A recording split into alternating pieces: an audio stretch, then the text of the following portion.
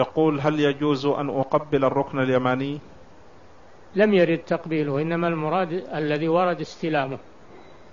استلامه باليد مسحه باليد هذا الذي ورد عن الرسول صلى الله عليه وسلم.